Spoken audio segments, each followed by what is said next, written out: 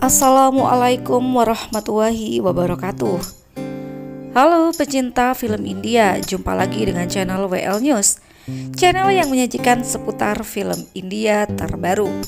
Tapi sebelum menonton, jangan lupa like, komen, dan subscribe agar kita semakin semangat. Saat itu Laksmi menemui Gudan dan memintanya untuk bersiap-siap karena Ajay mengajaknya untuk kencan bersama. Gudan masuk ke dalam kamar dengan perasaan bingung karena harus menyiapkan pakaiannya. Di tempat lain, Aji meminta Amaji untuk memilihkan pakaiannya karena akan melakukan makan malam bersama Gudan.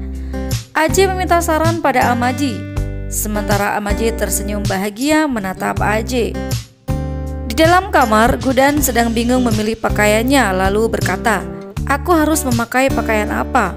Datanglah Laksmi ke kamar Gudan lalu mengatakan, Kau harus memakai pakaian yang diberikan Aj. Gudan pun terdiam. Tak lama kemudian Gudan menuju kolam renang yang sudah didekorasi. Gudan terkejut melihat kejutan dekorasi itu. Aj meraih tangan Gudan dan mengarahkannya untuk duduk. Gudan memberikan hadiah berupa buku kepada Aj. Kemudian Aj bertanya, Gudan apakah ini sebuah buku? Gudan mengatakan, bukankah kau suka membaca? Jadi aku berikan hadiah ini untukmu. Ajay pun memberi hadiah kepada Gudan. Ternyata isi hadiah itu adalah sebuah tongkat berfoto atau berselfie. Ajay berkata, Bagaimana Gudan, hadiahku lebih baik dari hadiahmu bukan?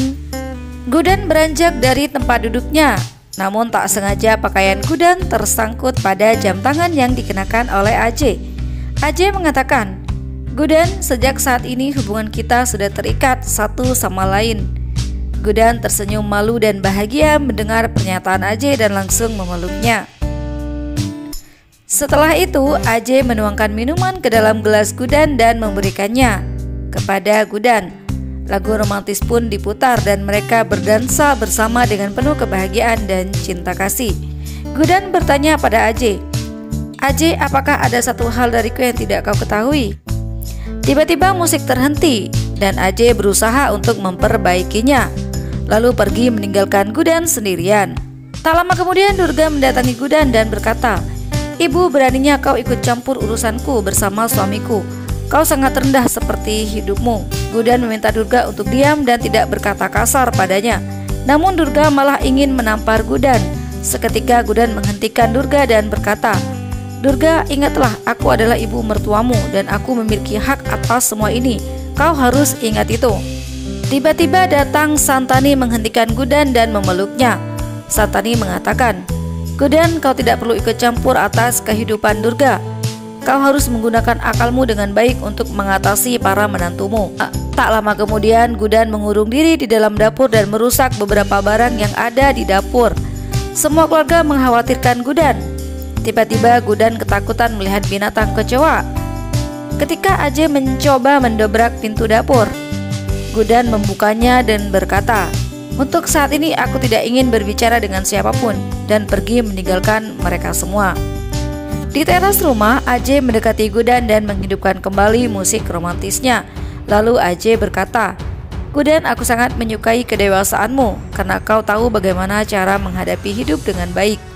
Gudan tersenyum mendengar perkataan Ajay dan segera memeluknya. Ketika mereka hanyut dalam cinta, tiba-tiba Gudan merasa canggung dan melepaskan pelukannya. Ajay berkata, Gudan, tenanglah aku akan membicarakan semua ini pada Durga. Gudan berkata, Tidak perlu Ajay, biarkan aku saja yang berbicara kepadanya.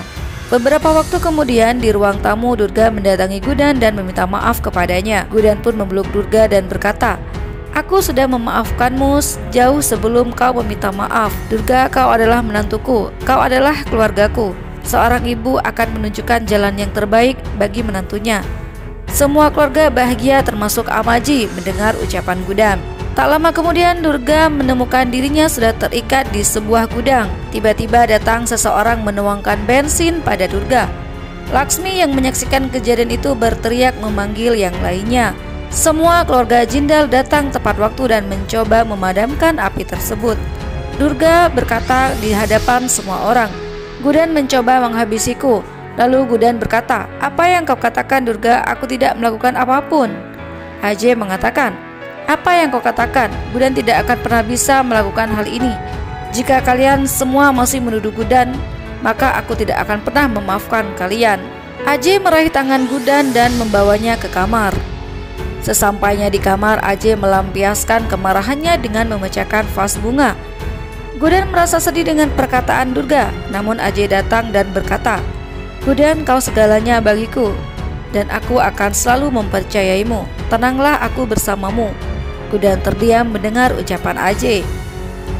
Terima kasih sudah menonton. Jangan lupa nantikan kisah selanjutnya.